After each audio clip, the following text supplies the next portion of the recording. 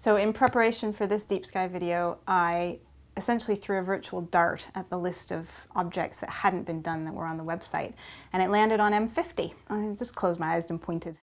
Of course, I went to Wikipedia to look it up, and there were two lines on Wikipedia about M50.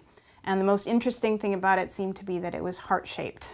So I figured this was going to be a tough one. So it happens to be an open cluster, which is probably one of the less spectacular kinds of objects in the Messier catalogue. It's young, about 130 million years old, and it's just a collection of stars that would have formed out of the same molecular cloud in the same location in space and are pretty much the same age as well. Okay, so I need to find something interesting to say about this open cluster. So what I found was a paper which was part of a monitoring program which looks at the variability of stars in clusters like this. Now stars can vary for a number of reasons. They can vary for intrinsic reasons because they're big pulsating stars that vary on a regular basis or they're cataclysmic variables that throw off material occasionally. Um, or they can vary through extrinsic reasons, for external reasons, either because something is passing in front of it and causing it to dim, and that's a really exciting way in which we're uncovering lots of extrasolar planets at the moment, or simply because they're rotating and they have some sort of rotational variability because of, well, not sunspots, but of star spots, variations on the surface that will appear and reappear and cause little 1% dips. This paper was monitoring it for th those, those last two reasons. But to do this, of course, you have to take lots of images over a very long period of time. For the observing run in question, you know, three, four, six nights, and then separated by a gap of another of 10 months where they went back to the telescope.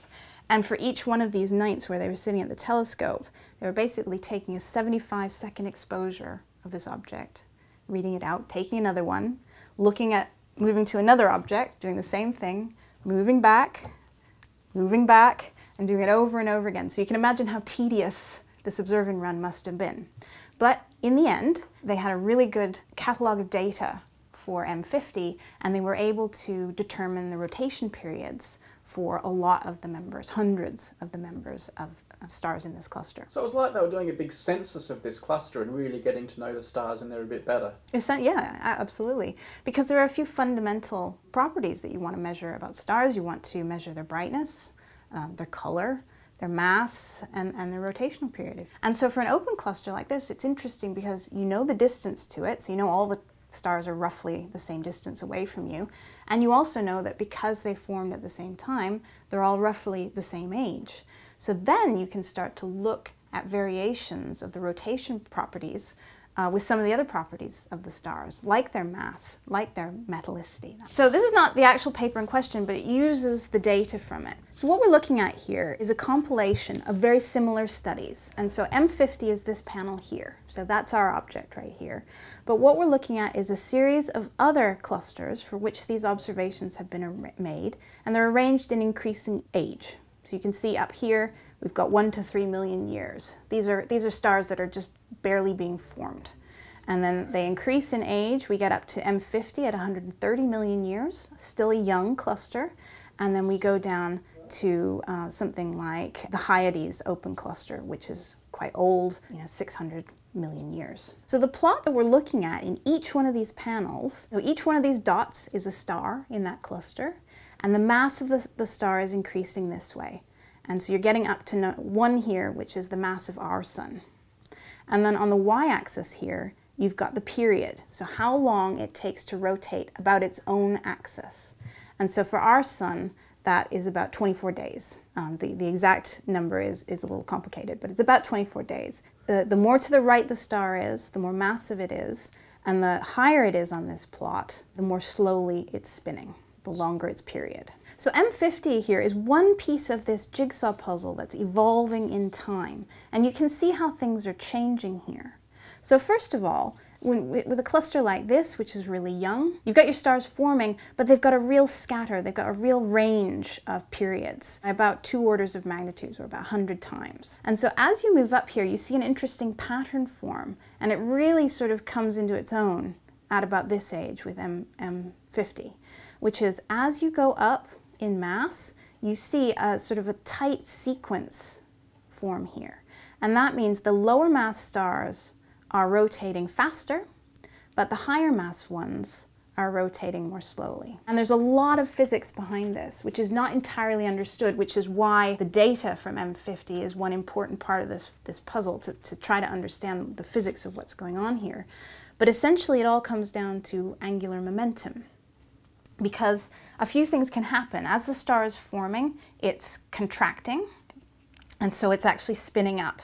So just as a figure skater, as they pull their arms in, as they, they bring their mass closer to the center, they will spin faster. So a collapsing star will spin up as it gravitationally collapses. This is complicated because it's usually surrounded by a disk of material that's, that's helping it form. And so there's coupling between the star and the disk, which is, gets a bit complicated. But then once it's sitting on its own, these stars are just, just normal low mass stars sort of living the main part of their life. They're on what we call the main sequence. And so they're sitting there, they're rotating, but as they rotate, they're throwing off material through their stellar wind. So this is a coupling of the magnetic field with the plasma in the star, um, and, and the material is re released off and blown out. And we see this from our own sun, and you know, solar storms will send charged material our, our, way that will impact on you know, our television reception or whatever. The result of this, in terms of the rotation period of the star, is the opposite of the gravitational contraction. As the material gets thrown off, the angular momentum is conserved, and the star um, starts to spin down. Its period gets longer and it rises up on this curve. Okay?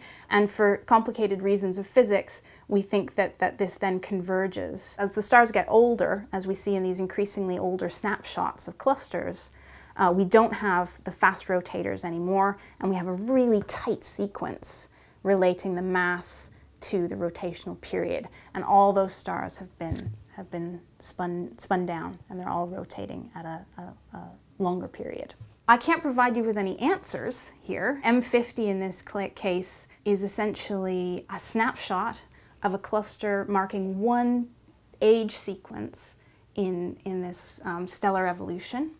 Um, so we can't sit and watch the stars evolve over hundreds of millions of years. All we can do is find different clusters that are of different ages and see how things change with age. This is really opening up a fairly new field called gyrochronology, which is essentially using the rotation period of a star to estimate its age. And not just from a cluster where you essentially know that they're all the same age and you can figure out what that age is, but any old random star. Um, and so that's quite a, quite a new field, um, but, but this is all sort of material that's feeding into our understanding of how stars evolve. Are astronomers not already good enough at getting the age of stars without having to use this extra elaborate feature of them to guess the age? No, stars are stars are pretty complicated, um, and there's a lot of, of subtleties and, and, as I said, very interesting physics that goes on. That means, you know, remember, there's only so many measurements that we're able to make of a star as we sit here on Earth. So, yeah, there's still lots for us to figure out. So this is what I wanted to show you. It's the grave of Charles Messier, his final resting place. There's actually surprisingly few markings on the grave. Now when we first came in, there was a list of all the famous people buried in this cemetery. It's one of the most famous cemeteries in the world, and Messier wasn't actually on there. I think this would have been very difficult to find if it wasn't for some helpful information on the internet.